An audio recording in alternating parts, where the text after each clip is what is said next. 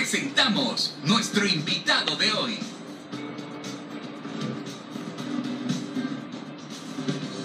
Bueno, y arrancamos con Ligia Rodríguez. Ella es eh, licenciada, abogada de eh, Mar Viva del Departamento de Incidencia, ¿verdad?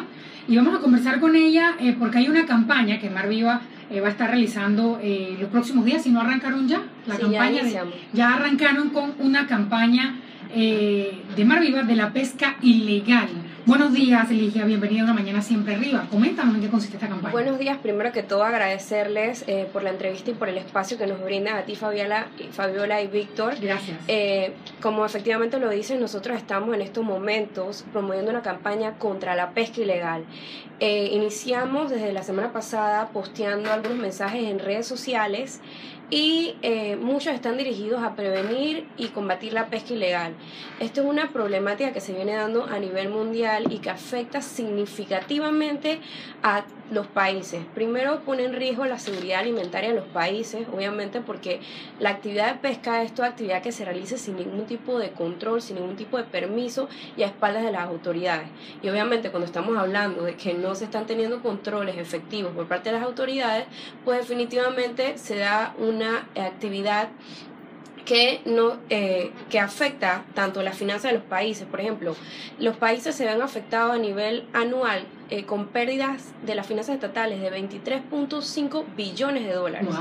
Que estamos hablando de cifras que no están siendo reportadas, que no están siendo reguladas, porque obviamente una actividad de pesca que no eh, eh, identifica o dice todas sus capturas o, o, entrega todas sus capturas, pues por supuesto que los países no tienen cómo establecer impuestos o controles efectivos sobre esos recursos que se están comercializando. Aparte de eso, agota las poblaciones de peces, amenaza a las especies que están en peligro de extinción, por supuesto. Esta pesca inclusive eh, está... Eh, promueve el gran descarte de especies juveniles. Y cuando me refiero a especies juveniles, son especies que todavía no han llegado a su nivel o a su edad de reproducción, que no han tenido la oportunidad de reproducirse y que no permite que los ciclos de las especies continúen. También se da el descarte muchísimo de especies que no tienen ningún valor o interés comercial y especies que inclusive pueden estar amenazadas. Eh, promueve el uso de artes que están prohibidos. Se realiza dentro de zonas que están prohibidas, por ejemplo, áreas marinas protegidas, que son espacios que permiten que las especies se eh, desarrollen, crezcan, se reproduzcan, o sea, son espacios de conservación. Y obviamente, como son actividades de pesca ilegal, las personas que están haciendo estas actividades, por supuesto, que no respetan esta zona. Aparte de esto, la pesca ilegal también está asociada y muy vinculada con problemáticas que ahorita mismo enfrentan los países. Por ejemplo, promueve la trata de personas, promueve la, la el narcotráfico, la piratería e inclusive está vinculada con temas de esclavitud porque obviamente al no tener controles tampoco se tienen controles sobre la implementación de las normas marítimas y de las normas de seguridad laboral. ¿De qué manera, eh, Ligia, podemos eh, como ciudadanos evitar que se dé la pesca eh, ilegal y también eh, esta campaña de Mar Viva cómo trabaja en conjunto con las autoridades, porque me imagino que esto tiene que estar muy ligado con lo que es la policía, la autoridad marítima, la ARAP y muchos otros organismos que tienen que ver con este tema. Efectivamente, Fabiola. Mira, nosotros iniciamos la campaña, la campaña es una campaña de sensibilización. Nosotros venimos trabajando con las autoridades en un proyecto para fortalecer sus capacidades y trabajar de manera conjunta para la implementación de medidas que puedan ayudar a prevenir la pesca ilegal. Inclusive, como estamos hablando de una problemática a nivel mundial, donde probablemente el 50% de las capturas de 11 a 26 millones de toneladas anuales provienen de la pesca ilegal, eh, también se están estableciendo una serie de medidas y acuerdos internacionales.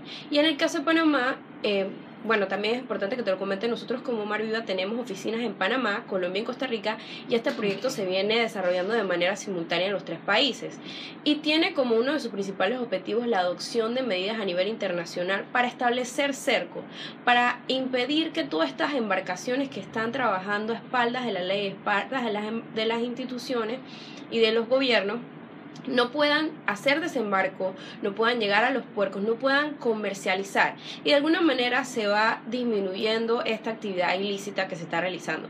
Entonces, en el caso de Panamá, nosotros venimos trabajando en la promoción del acuerdo, ya Costa Rica lo aprobó, a son 16 países los que lo han adoptado en estos momentos. Eh, en el momento que alcancemos 26, 25, ya el acuerdo se implementa a nivel internacional y todos los países van a tener que cumplir con estas medidas. Panamá ha implementado ciertas medidas en cuanto a esto y vienemos trabajando con este proyecto para que en el momento en que este acuerdo se adopte, las instituciones cuenten con todas las capacidades y toda la infraestructura para poder implementarlo. En el caso de la campaña, que es una campaña de sensibilización, nosotros necesitamos que eh, el ciudadano común esté consciente de esta problemática, porque, por ejemplo, esto afecta muchísimo a las comunidades costeras que están vinculadas a la pesca eh, responsable. Por ejemplo, todos nuestros pescadores artesanales que están cumpliendo con la normativa, que cumplen con todas las regulaciones, que utilizan los artes permitidos, se ven definitivamente... Eh, afectados porque hay una competencia desleal de estas personas que no están haciendo y que lo están haciendo al margen de la ley. Ahora, estas personas de eh, los pescadores artesanales deben cumplir también un requisito, ¿no? Para este tipo de actividad. Sí, efectivamente, toda la persona, todas las personas que se dediquen a la pesca tienen que cumplir con autorizaciones emitidas por las autoridades competentes, que en este caso es la Autoridad de los Recursos Acuáticos de Panamá. Entonces, definitivamente que si estas personas están cumpliendo con eso, estamos hablando de que los que no lo hacen representan una competencia leal contra ellos. ¿Cómo, ¿Cómo podemos los ciudadanos darnos cuenta de que una persona está realizando una pesca ilegal? Bueno, mira, eh, con respecto a la campaña de pesca ilegal, que es una, es una campaña de sensibilización que estamos enviando todos estos mensajes, eso también va un poco ligado a la responsabilidad de los ciudadanos de denunciar. Es muy probable que si uno vea una embarcación que tiene un pabellón extranjero, llámese una bandera de otro país, dentro de nuestras aguas jurisdiccionales, muy probablemente está haciendo una pesca ilegal. O por ejemplo, si yo veo una embarcación industrial dentro de un área marina protegida, está haciendo una actividad de pesca ilegal porque en, dentro de las áreas protegidas solo se permite la pesca de subsistencia o artesanal y con un tipo de registro. Entonces, cualquier embarcación que sea industrial no debe por qué estar ahí y por supuesto menos estando haciendo actividades de pesca. Entonces, los ciudadanos tenemos la obligación frente a estas situaciones de denunciar. Podemos acudir entre las autoridades y hacer las denuncias correspondientes. Pero aparte de eso, yo creo que parte de la campaña también va dirigida a que nosotros nos convertamos en agentes multiplicadores, que sepamos que los recursos que hoy día tenemos a nuestra disposición y que consumimos son perecederos si nosotros no establecemos medidas para conservarlos y que realmente no pertenecen a nosotros, pertenecen inclusive a nuestros hijos, a nuestros nietos porque nosotros tenemos que garantizar que para ellos también hay estos recursos. Ahora, en el tema, y disculpa Fabiola, en el tema de aquellos que buques o naves que se encuentren en abanderados, que se encuentren con en áreas eh, mar territorial haciendo este tipo de pesca ilegal, ya se le puede determinar un tipo de sanciones para esta persona, de repente eh, activarlos en alguna lista negra que, que, de repente no le permita ejercer el servicio de la pesca. Muy buena tu pregunta, Víctor. Mira, realmente hay que aclarar dos cosas. Uno, estamos hablando de pesca ilegal dentro de nuestro país, dentro de nuestras aguas jurisdiccionales, y también vamos a hablar de pesca ilegal a nivel de problemática mundial. Eh, en el caso de las embarcaciones o los buques que tienen banderas y que están pescando dentro de aguas fuera de, de la jurisdicción panameña, mar abierto. mar abierto, correcto, les aplica lo que sería en su momento o cuando empieza a regir el acuerdo de medidas de Estado rector de puerto. Es para controlar. Entonces, porque igual eso afecta a la, a, las, a la pesca interior de los países, porque a medida que se van agotando esas poblaciones de peces, agotando esos recursos, poco de esos peces entran dentro de las aguas jurisdiccionales y de alguna manera se afecta la, la captura y pesca responsable de estas especies y, y en consecuencia la comercialización y venta que sabemos que en el caso de Panamá la actividad de pesca es una actividad económica significativa. En el caso de las eh, aguas jurisdiccionales, pues estamos hablando de una pesca que se lleva a nivel industrial y a nivel artesanal, ¿verdad? E inclusive en el caso de pesca deportiva y todas estas tienen regulaciones que están por cumplir por parte de las autoridades. Entonces, cuando hablamos de pesca a nivel macro, ya que estamos hablando de grandes embarcaciones que hacen unas capturas significativas, que son los que ejercen la, mayor problemática de la pesca ilegal, estamos hablando de implementar medidas a nivel internacional que sirvan de cerco para que estos productos que se presume que tienen una procedencia ilegal no se puedan no puedan ingresar a los países, no se puedan comercializar. Incluso el acuerdo promueve que se impida la entrada de estas embarcaciones cuando se sospecha que están haciendo actividades de pesca ilegal eh, inclusive para servicios generales, o sea, no pueden ni siquiera entrar a tomar combustible o a comprar insumos o lo que necesiten para sus actividades. O sea, que de alguna manera eso incide en que estas, estas personas empiecen a regularizarse. Y en el caso de la pesca ilegal a nivel local, eh, las autoridades están haciendo muchos esfuerzos para ir eh, regularizando el tema de pesca ilegal, ejercer mejores controles. En el caso de Mar Viva, como nosotros venimos apoyando a la autoridad de ya un tiempo desde el proyecto en el 2002 e inclusive desde el 2011 venimos trabajando en lo que es Chiriquí Veraguas, que es nuestra área de influencia, con una estructura que se denomina Plataforma de Coordinación Interinstitucional y está dirigida a la planificación estratégica de las autoridades. Y ahí converge lo que es la Autoridad Marítima de Panamá, la Autoridad de los Recursos Acuáticos, Ministerio de Ambiente, Servicio Nacional Naval e incluso el Ministerio Público. Y estas instituciones tienen reuniones de coordinación para planificar operativos, eh, para hacer intercambio de información, para hacer los procesos más expeditos. Y una de las cosas que nosotros este año estamos trabajando con las autoridades y que vamos a estar lanzando es una aplicación. Sí debo destacar que la aplicación va a ser puntualmente en estos momentos para Chiriquí Veraguas, pues donde se tiene la estructura de respuesta por parte de las autoridades. Y en esta aplicación se pueden hacer reportes de diferentes actividades o irregularidades e ilícitos que se puedan encontrar los usuarios en general. Incluso la aplicación te permite hacer captura de imagen, te permite hacer captura de las coordenadas. Por ejemplo, si yo estoy en el Parque Nacional Coiba, y encuentro una embarcación industrial que está haciendo pesca dentro de un área que no permite que esta embarcación lo haga, yo puedo con esta aplicación tomar las fotos, apuntar las coordenadas, enviar un reporte a la autoridad y la autoridad entonces le va a dar un seguimiento y va a verificar y abrir los procesos que correspondan. Y por supuesto que las sanciones van a ir acorde a eso. las sanciones van a diferir porque depende de lo que está cometiendo la, la, la persona, la infracción. Puede ser por no tener los permisos, puede ser porque está utilizando un arte indebido, puede ser porque en época de veda está haciendo eh, extracción de, de camarones. Inclusive ya ahorita el primero de febrero vamos a estar em, empezando el periodo de veda.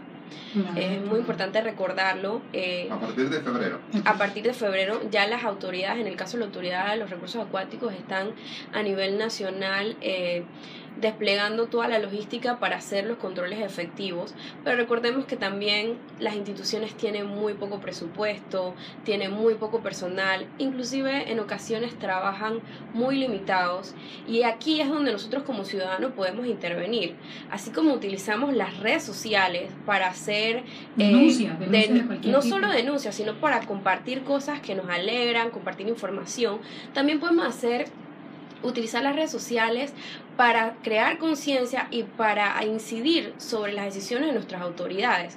Nosotros podemos utilizar las redes sociales para eh, presionar a las autoridades que doten del presupuesto necesario a estas autoridades que tienen un presupuesto limitado. Aparte también podemos incidir sobre nuestros diputados, sobre nuestros gobernantes, nuestro presidente, de que hay una necesidad imperante de actualizar la ley de pesca, que sabemos que en estos momentos la autoridad está haciendo la redacción del documento, pero que nosotros como ciudadanos estamos muy interesados en que se actualice esta normativa y que se le dé prioridad y se facilite todo este proceso. Tanto Data de muchos años esa ley de pesca. Sí, estamos hablando de una ley que data del 59 y que evidentemente requiere una actualización.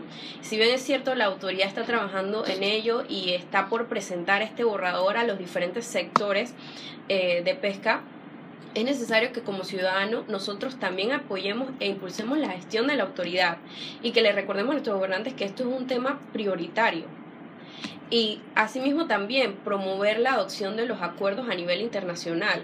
Recordarle a nuestros diputados que nosotros pusimos ahí, que elegimos, que también tienen un deber con la conservación de los recursos y con la no afectación de la economía de nuestro país y de las comunidades más vulnerables, como en el caso este de las comunidades costeras vinculadas al tema de pesca artesanal, de que es necesario adoptar esta clase de medidas para que se, como país nosotros podamos ejercer controles. Y yo creo que en este sentido, Víctor, también es importante que nos convertamos precisamente en esos ciudadanos, eh, no tanto como dice la licenciada, denunciar, sino eh, hacer tomar conciencia, pero también lo más importante es denunciar y a través de la presión de que no le dé miedo, es decir, hay una, una, una pesca ilegal y que se puedan tomar las correcciones necesarias, porque como lo estás explicando, eso afecta, por supuesto, lo que es la economía del país, porque los pescadores artesanales, ¿cuánto gana un pescador artesanal?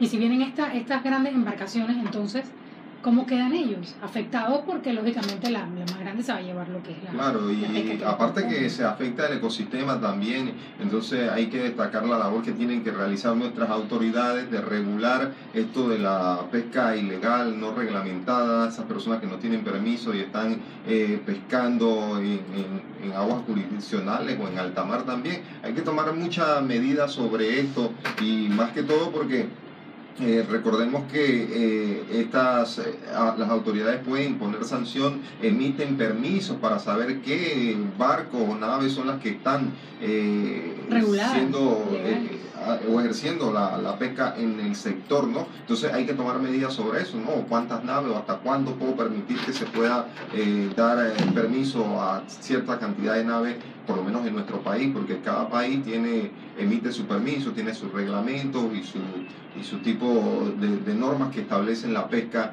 en diferentes puntos. Bueno, pues lo hablamos a nivel mundial también. Para que nos digas entonces, Línea, eh, sobre esta campaña, dónde la podemos ver, si hay algún correo electrónico, alguna red social de, de Marviva donde las personas no solo denuncien, sino que también eh, lean cuáles son las normas y que las conozcan también, ¿no? Y conozcan la campaña. Bueno, nosotros estamos iniciando la campaña, tiene un componente de redes sociales y también tiene un componente donde va a haber una campaña televisiva.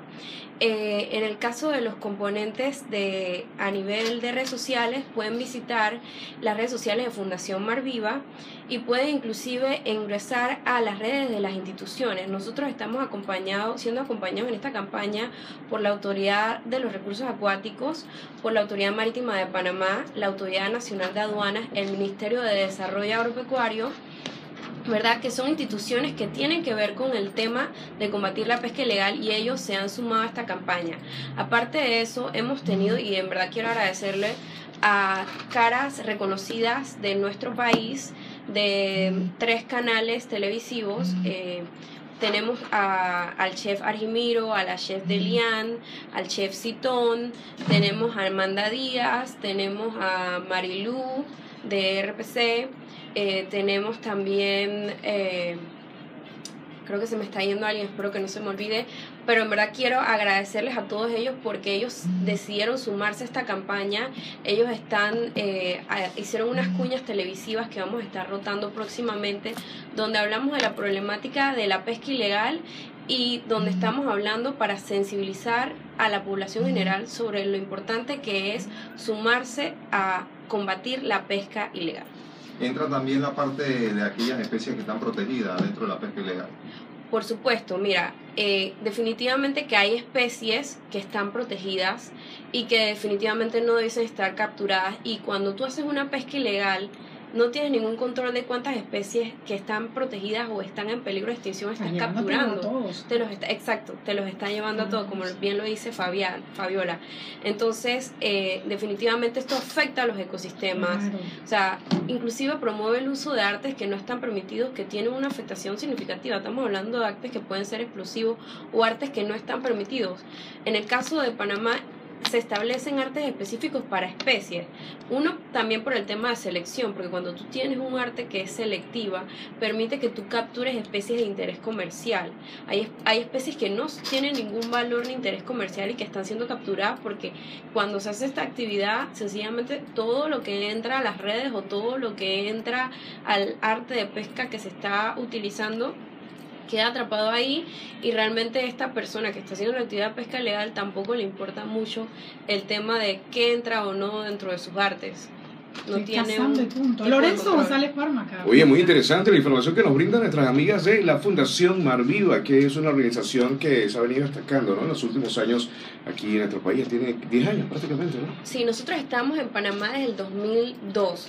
De 2002 estamos. Ah, el 2002, imagínate. Así que tienen ya... 14 eh, años 14 años de estar en nuestro país, dando a conocer. Interesantísimo. Y la verdad es que, bueno, cualquier eh, información adicional, porque ya se nos terminó el tiempo, vamos al cambio, ya pueden entonces accesar a la- las páginas de Marviva. Exacto, Sí. pueden Información entrar adicional. a eh, www.marviva.net y también pueden entrar a nuestras redes sociales, eh, Fundación Marviva en Facebook y Fundación Marviva Panamá en Twitter. Estamos a la orden por cualquier consulta, cualquier información que ustedes tengan a bien. Saludos a Magdalena Velázquez, también gerente de comunicación de la Fundación Malviva, que está en sintonía. Saludos, Magdalena, un abrazo, gracias Desde por... muy temprano está en sintonía del Y programa. puntual Ligia estuvo aquí esperando para iniciar el programa Una Mañana Siempre Arriba, hablándonos de la pesca ilegal. Un tema súper amplio, eh, Lorenzo, que la verdad ojalá que Magdalena nos otra oportunidad. Claro que porque, sí. eh, No, y muy interesante súper- también los, los amplio. todo el talento que han utilizado también los personajes de televisión para influenciar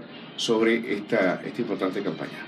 Nuevamente les agradezco por el espacio y en verdad estamos a la orden para cualquier otra invitación que nos tengan a bien para eh, profundizar un poquito más en el tema. Gracias por estar con nosotros. Vamos a la pausa y regresamos con más.